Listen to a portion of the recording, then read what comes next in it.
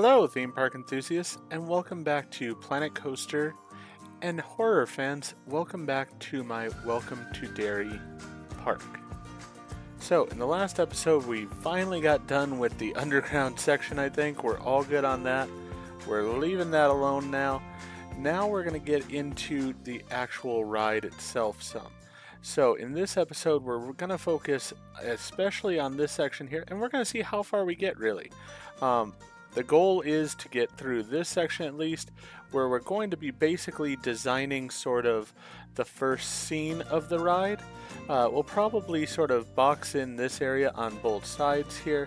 And so the first scene, of course, is going to be the iconic scene from the book and from both film adaptations of the story, which is Georgie's death.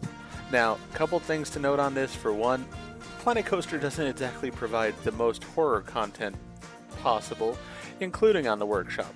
So I am going to have to use what is available. I'm going to have to make it work as best I can. So it's not going to be perfect. I admit that outright.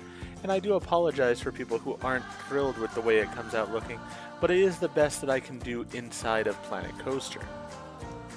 So you are going to have things like there is no small boy in a raincoat. It just doesn't exist.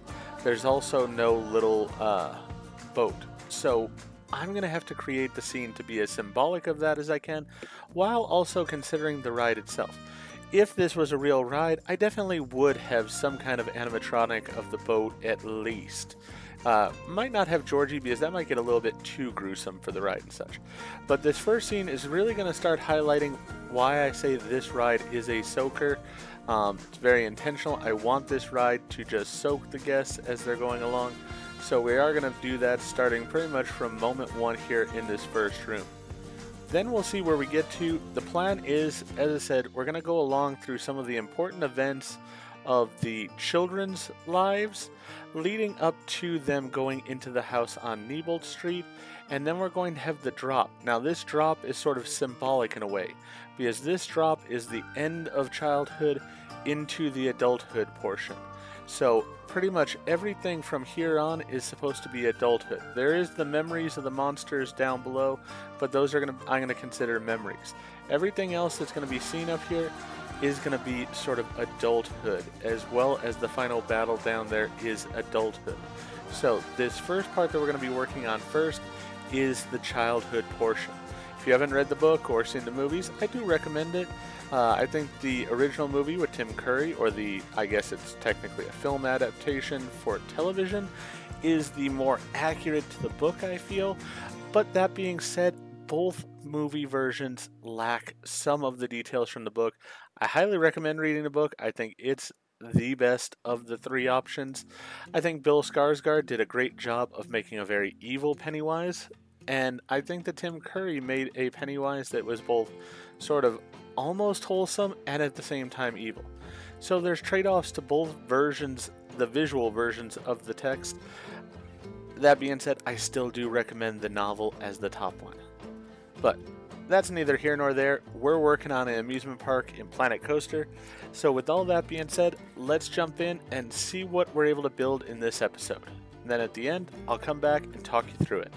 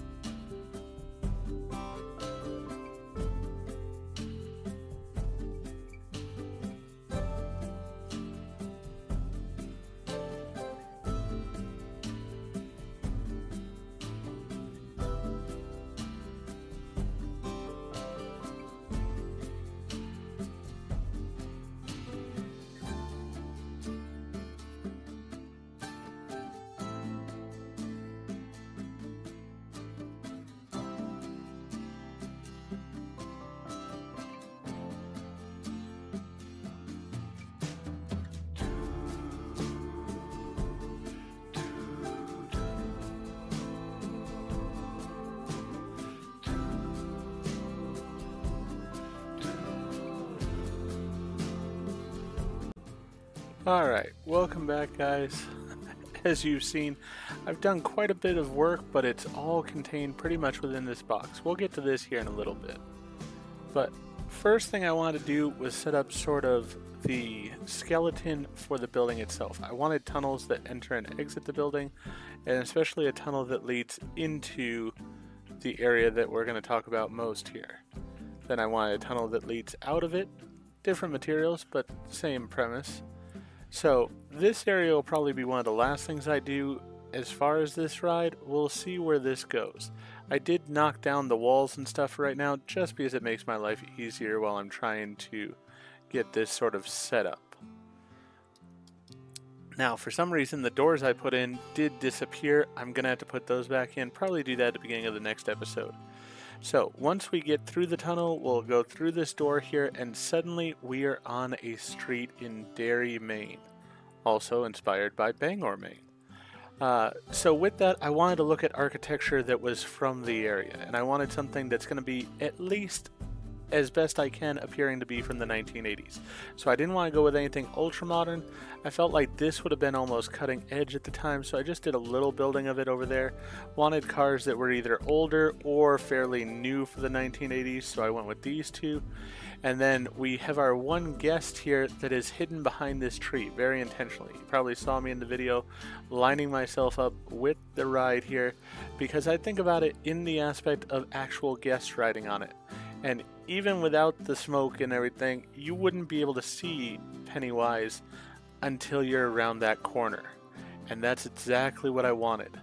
Uh, smoke is a little bit much, but it's also paused right now, so I think that's having a part to play in it. Now, as I said, I didn't have anything like a a little boat or a boy in a rain slicker, so I did the best I could. I had found this blood splatter that was on the workshop, and I customized it a bit to fit into this area. But as I said, I also wanted this to feel like it is an actual street. So we put in all the houses and everything here. Um, looks like this light, it shouldn't be on, and I don't believe it is technically on. I want to make sure it's off because the power was out in Derry, Maine at this point. So I want it to be fairly dark because that's the way it would be. So then I went ahead and covered everything with the blackout curtains. Yes, things stick through, and I'm perfectly fine with that because this is sort of the inner box for the ride. There is going to be an entire building that's going to go around all of this. The entire town is going to be laid out here as sort of a cover that covers the main rides here. So you won't even see this house and such once that's in place. The house, the buildings are going to run closer to the sidewalk and such, which is why we're back from the sidewalk a decent amount here and such. And then here we're basically going to have a building that comes right to here, and then this is just going to be sort of pipe that comes out as far as the uh, into the waterway that goes through town. Now with this, somebody had done a wonderful job of the recreation of Neibolt Street House from the remake of the movie. I felt it was perfect. I do need Neibolt Street for a scene that's going to be going on, so I did want to put it in. There are going to be adjustments here, though. As you saw, I pretty much ripped the entire back of the building off, and that's because of the fact that this is going to be a scene in the ride. It is not just going to be sort of a standalone type of thing. There's this cave here. I don't really care about it one way or the other because it's going to be hidden from the riders and from the town overall. So it just exists, basically. Uh, but with this, I am going to have to make the ride go upwards some here to get into the house. I'm not doing that just yet, though, because of the fact that I need to move this house still, I feel. I figure what I'm going to do in the next episode, I can't do this area because I don't know how much area I have yet until I get this scene set up. And by this scene, I mean all the way over to here and including the house. So what I'm going to do in the next episode probably is start working from the back here, the end of the scene, and moving back through the house in this direction. Then when I get there, we'll go ahead and uh, move the house where it needs to be. Once that house is set in place, then I can see how much room I have here and decide which scene I want to put in in this area. The other thing I do want to get done fairly soon here is I want to sort of get this all taken care of. Right now it's just sort of walls made of stone. This is actually going to be concreted in, so I do need to do all of that work, and I will get to that here hopefully in the next episode or two. Might even do that before I go ahead and start with the uh, the house. But those are the plans for the future. Then, as I said, once all of this is done, we will go ahead and box it in, and so you won't see it because of the town itself. The one scene I'm sort of still going back and forth on is if I'm going to put a scene over here or not. I'm really unsure about it right now. The amount of work that this took, I mean, this was probably, you're seeing it in a sped up version, but this probably took me six or seven hours just to get this bit of scene done considering what's underground and then the work I still have to do on the scenes over here, this ride is going to be the is a ride that probably has taken me as long as some parks have taken me. And with this ride, there's also the setup of the other rides that are going to go on in this area. They are technically, in my opinion, part of this ride though, because it's all about the scenery for this ride. So with that, we'll have to see if I do the scene over there or not. One thing I keep in mind is I don't have letters that are bloody the way I would want them for the scene that I want to do over there. So we'll have to sort of play around with it and decide if that scene's going to happen or not.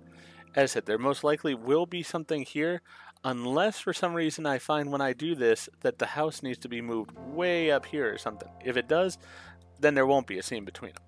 My guess is, though, that the house is going to move back this direction some, but I need to play it out from this end first. So we're going to see from this end, then we will sort of make our decision on where the house is located. So with that in mind, that's what we're going to do in the next episode. For now, though, if you enjoyed what we did in this episode, please go ahead and click that like button. If you've not already, please subscribe to the channel, click the bell icon, so that you're aware when I produce new videos in the future.